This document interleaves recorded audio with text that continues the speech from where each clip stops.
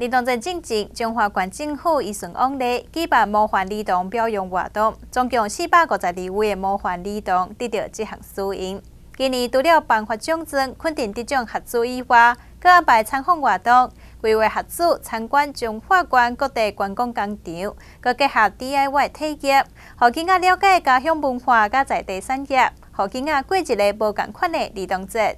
今年一度的儿童节特别来到。中华县政府依照往例举办模范儿童的颁奖表扬典礼，总共四百五十二位模范儿童一一上台接受县长王惠美的颁奖。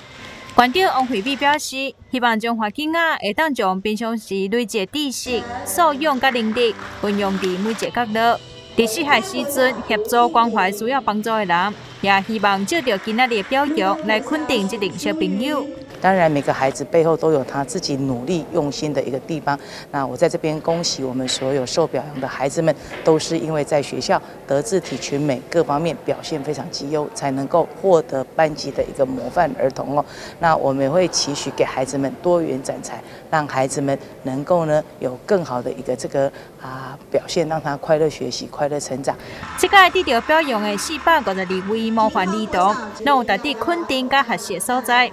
得到表扬的囡仔，也拢真感谢老师的鼓励甲同学肯定。我要感谢老师的鼓励和同学们的肯定。我在校热心教导同学功课，亲切有礼貌，也积极参与校内的比赛与活动。今后我会更加勤学，带着这份荣誉帮助更多的人。呃，我十分荣幸可以当选模范儿童，这都要感谢同学们给我这个机会，让我可以站上县政府的舞台演讲。也要感谢这六年来每一位老师的教导，